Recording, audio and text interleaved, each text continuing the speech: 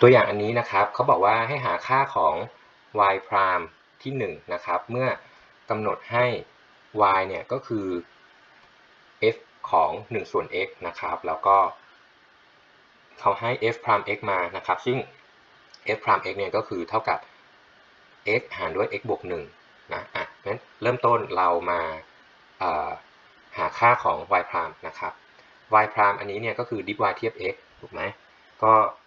ทำตามรูปฟอร์มที่เราเรียนรู้กันมาเลยนะครับ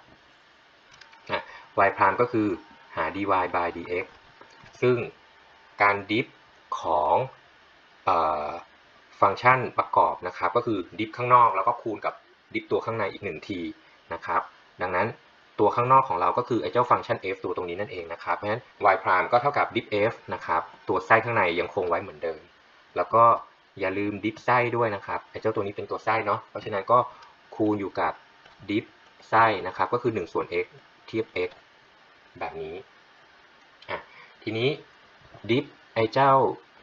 1 ส่วน x นะครับ ผมมอง 1 ส่วน x เนี่ยเป็น x ยกกำลังลบ1นะครับ ดังนั้นดิฟ x ยกกำลังลบ1เนี่ยก็ตบเลขชี้กำลังลงมาข้างหน้านะครับ ก็จะได้กลายเป็นลบ1คูณอยู่กับ x ยกกำลังก็คือเลขชี้กำลังก็ลดลงไปอีก1ถูกไหมครับ จากลบ1ก็จะกลายเป็นลบ2เพราะฉะนั้นผมก็ได้อนุพันธ์ของฟังก์ชัน y แล้วนะครับ ทีนี้เขาต้องการหาค่า y prime ที่ x เท่ากับ 1 เพราะฉะนั้นนะครับ dy by dx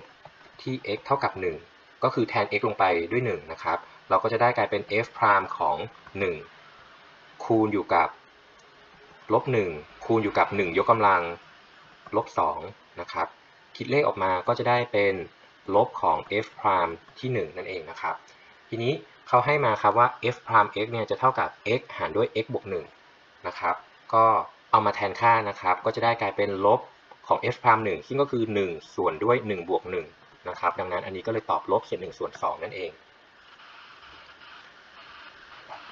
ตัวอย่างถัดมานะครับเขาบอกว่าจากการศึกษาผลกระทบทางสิ่งแวดล้อมของชุมชนที่อาศัยอยู่ในบริเวณชานเมืองแห่งหนึ่ง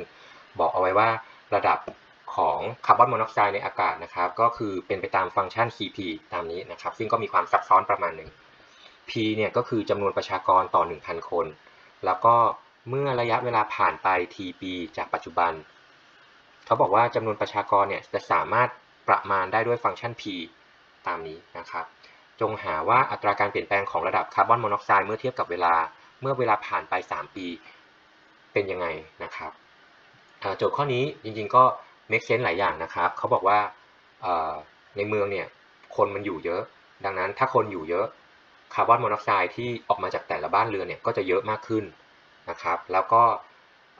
จำนวนคนเนี่ยโดยเทรนด์ของโลกแล้วเนี่ยนะครับประชากรของคนเนี่ยมันจะค่อยๆ เพิ่มขึ้นเรื่อยๆนะครับ เพราะฉะนั้นถ้าประชากรในเมืองตรงนี้เนี่ยมันเพิ่มขึ้นเรื่อยๆแน่นอนครับอัตราการเพิ่มของคาร์บอนมอนอกไซด์ในเมืองบริเวณตรงนั้นเนี่ยนะครับก็จะมีมากขึ้นเรื่อยๆ ทีนี้เขาให้ความสัมพันธ์ระหว่างคาร์บอนมอนอกไซด์กับจำนวนประชากรมานะครับแล้วก็ความสัมพันธ์ระหว่างจำนวนประชากรกับเวลาก็ให้มาเหมือนกันนะครับเพราะฉะนั้นเขาต้องการถามหาว่าไอ้เจ้าคาร์บอนมอนอกไซด์เนี่ยจะเปลี่ยนแปลงไปยังไงบ้างเมื่อเทียบกับเวลานะครับ ดังนั้นสิ่งที่เขาถามหาก็คือเขาต้องการถามหาอนุพันธ์ของ c เมื่อเทียบกับเวลานะครับ เมื่อผ่านไป 3 ปี 3 ปีตรงนี้ก็คือที่ t เท่ากับ 3 นั่นเองนะครับเพราะฉะนั้นเริ่มต้นนะครับเราอยากได้ diff c เทียบ t นะครับ แต่ตอนนี้เรามีฟังก์ชัน c ซึ่งสัมพันธ์กับตัวแปร p นะครับ ดังนั้นเราก็ diff c เทียบ p นะครับ แต่ว่าเราไม่ได้อยากได้เทียบ p เนาะเราอยากได้เทียบ t นะครับ เพราะฉะนั้นเเราก็อยากได้เทียบ t เราก็ต้องดิฟฟังก์ชัน p เทียบ t อีกนะครับ ซึ่งไอ้เจ้าปริมาณตรงนี้สามารถทำได้นะครับ เพราะว่าเรามีความสัมพันธ์ระหว่างตัวแปร p กับตัวแปร t อยู่นะครับก็เริ่มต้นนะครับดิฟ c เทียบ p ก่อนเนาะอันนี้ก็จะใช้กดลูกโซ่นะครับดิฟ c เทียบ p ก็จะเท่ากับ ดิฟไอ้เจ้าตัวนี้นะครับ เรามองเป็น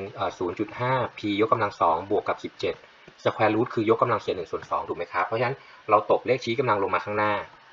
แล้วก็ลดเลขชี้กำลังลงไป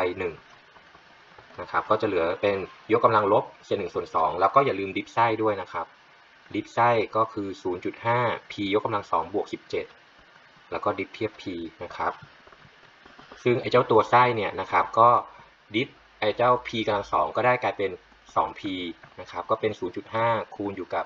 2p ดิฟ17 ได้ 0 ต่อมาครับดิฟ p เทียบ t ดิฟ 3.1 อันนี้ได้ 0 ถูกไหมครับ ต่อมาดิฟ 0.1 t ยกกำลังสองก็ได้กลายเป็น 0.2 t นั่นเองนะครับ ทีนี้เขาต้องการหา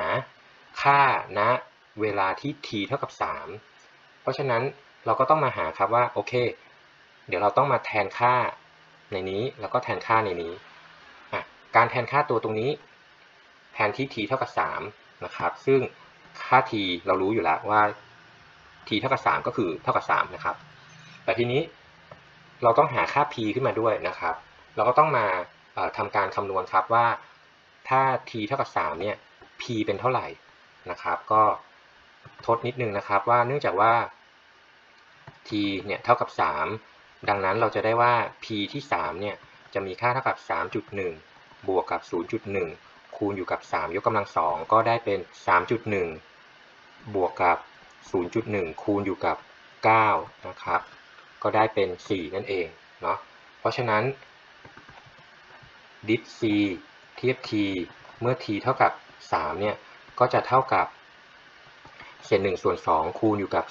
0.5 คูณอยู่กับ p ยกกำลัง2ซึ่ง p มีค่าเท่ากับ 4 นั่นเองนะครับ แล้วก็บวก 17 ยกกำลังด้วยลบเศษ1ส่วน